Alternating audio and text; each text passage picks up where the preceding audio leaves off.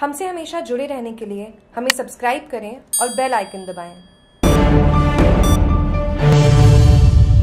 राजस्थान से प्रेमनाथ पहला युवा है जो अपनी मेहनत और लगन से सीधे सब इंस्पेक्टर के पद पर पहुँचे। पश्चिमी राजस्थान के ज़िले बाड़मेर में कहते हैं कि मन में यदि कुछ करने की इच्छा शक्ति हो तो रास्ते की बाधाएँ भी इंसान को कामयाबी हासिल करने से नहीं रोक सकती। इसे सच साबित कर दिखाया राजस्थान के सरहदी ज़िले जैसलमेर में जोगी समुदाय से आने वाले प्रेमनाथ ने।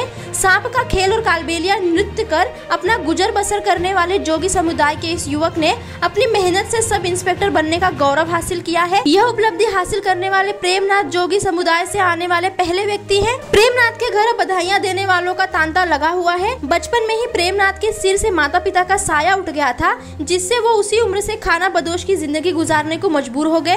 दो अनपढ़ बड़े भाई मजदूरी करते थे, मगर प्रेमनाथ के मन में कुछ करने का जुनून था, इसलिए वो शिक्षा हासिल करने में जुट गए। आमतौर पर जगह जगह घूमकर सांपों के खेल और कालबेलिया नृत्य दिखाकर अपना पेट पालने वाला जोगी समुदाय का शिक्षा से कभी सरोकार नहीं रहा है। लेकिन प्रेमनाथ ने तमाम तरह की मुश्किलों के बाद वर्ष 2018 में राजस्थान पुलिस कांस्टेबल की परीक्षा पास की। पटवारी भर्ती परीक्षा राजस्थान प्रशासनिक सेवा में नाकाम होने के बाद प्रेमनाथ ने पुलिस अधिकारी बनने का सपना देखा। इसे पूरा करने के लिए प्रेमनाथ ने दिन रात एक कर दिया और कड़ी मेहनत की। अब प्रेमनाथ के कंधे पर सितारे लगने जा रहे हैं। प्रेमनाथ के मुताबिक कभी कोई सफलता संघर्ष के बिना नहीं मिलती। उसे इस बात की खुशी है कि वो अपने समाज के पहले सब इंस्पेक्टर बने हैं। जोगी समुदाय में पश्चिमी राजस्थान से प्रेमनाथ पहला युवा है, जो अपनी मेहनत और लगन से सीधे सब इंस्पेक्टर के पद पर पहुँचे हैं। बाड़मेर जैसलमेर में शिक्षा के लिहाज से जोगी समुदाय बहुत पिछड़ा हुआ है। वो दिहाड़ी मजदूर या घर घर जाकर मांग कर ज़िंदगी गुजारने तक ही सीमित है। महज आठ साल की उम्र में प्रेमनाथ के पिता का निधन हो गया था।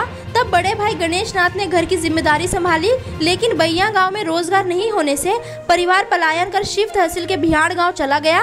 यहाँ गणेश नाथ ने पहाड़ों पर पत्थर तोड़कर परिवार को पालने के साथ प्रेमनाथ की पढ़ाई भी जारी रखी। प्रेमनाथ का वर्ष 2018 में पुलिस कांस्टेबल के पद पर चयन हो गया। उसे अब बाड़मेर ग्रामीण पुलिस थाना में नियुक्ति मिली है।